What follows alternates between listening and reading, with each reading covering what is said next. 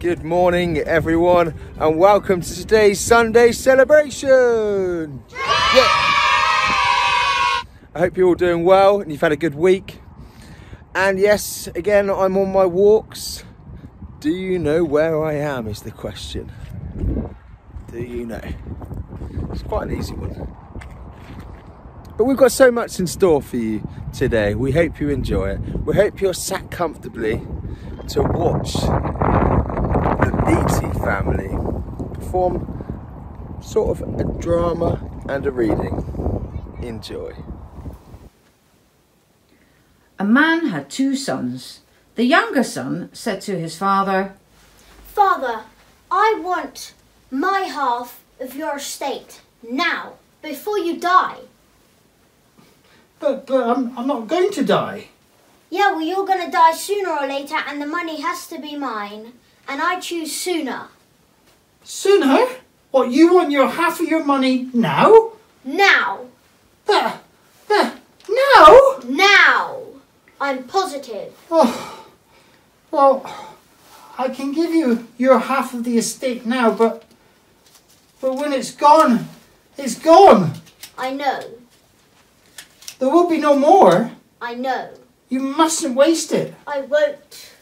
His father agreed to divide his wealth between his sons. And a few days later, his younger son packed all his belongings and set off and wasted all his money on wild living.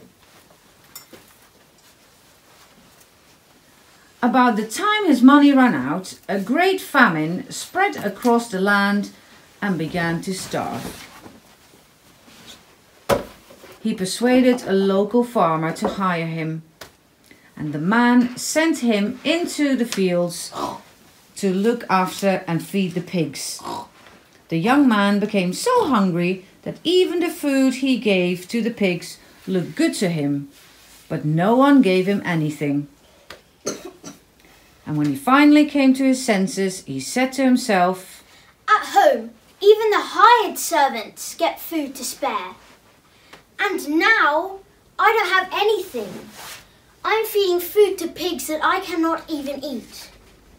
I'm dying of hunger and I wasted everything my father gave me. I wish I listened to him. While he had the job of feeding the pigs, he said out loud what he would say to his father. Father, I have sinned against God in heaven and against you. I'm no fit to be called your son anymore. Treat me like one of your workers. He left the farm and went home. When he was still a long way from home, his father saw him and felt sorry for him. He ran to his son and hugged and ki- he ran to his son and hugged and kissed him. Mm. Thank you. It's so good you've come home. I'm so pleased to see you. And he said to his workers, Hurry! Hurry, workers! Put the best clothes on him. Put those clothes on him. Oh, you look wonderful. Put that ring on his finger and shoes on his feet. Get the best calf so we can prepare it and eat. Let's prepare and celebrate the return of my son. He was dead, but now he's come back to life. He was lost, but now he's been found. They began to celebrate.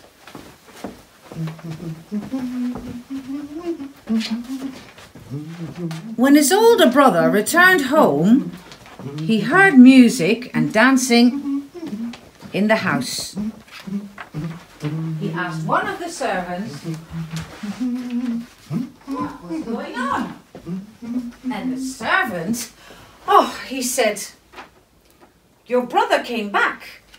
Uh, your father has killed a calf and we are celebrating because of his safe return. The older brother was angry and wouldn't go in, and his father came out and begged him. And the older brother replied, All these years I have slaved you and never once refused to a single thing you have told me to do. In all that time you have never even given me one young calf and let me have a feast with my friends. Yet when this son of yours comes back with nothing and spent all your money you gave him, you celebrate by giving him a great feast? His father said to him, I know, I know it's strange. I know it's strange. But look here, dear son. You've always, he's always strayed from me, and everything I have is yours. We have to celebrate the return of your brother because your brother was dead and now he's alive. He was lost, but now he's found. We must celebrate. Come here. So, why did Jesus tell this story?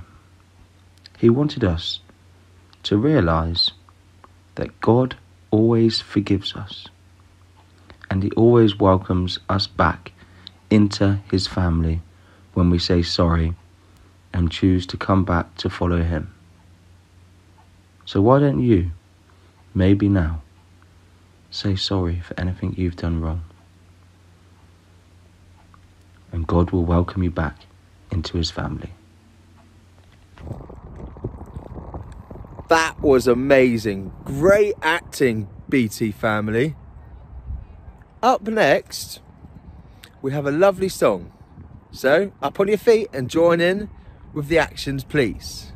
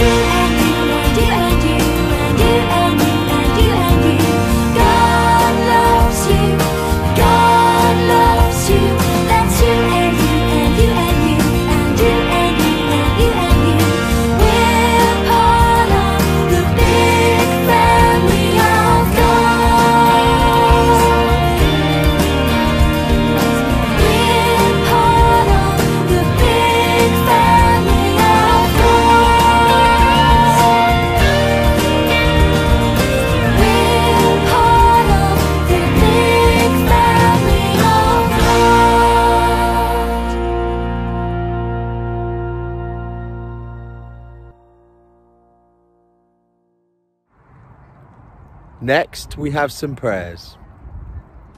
Dear God, thank you that you love each and every one of us. Thank you for giving us a second chance. And thank you for welcoming us into your family. Amen. Thank you so much. I hope you've enjoyed today's Sunday celebration and the moment you've all been waiting for again. Where am I? The Devil's Punch Bowl! Yeah!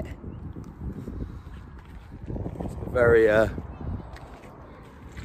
miserable day, but we make the most of it. We get out and we enjoy the fresh air, don't we, Peppy?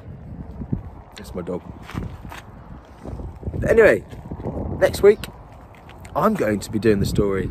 So, hope to see you. God bless.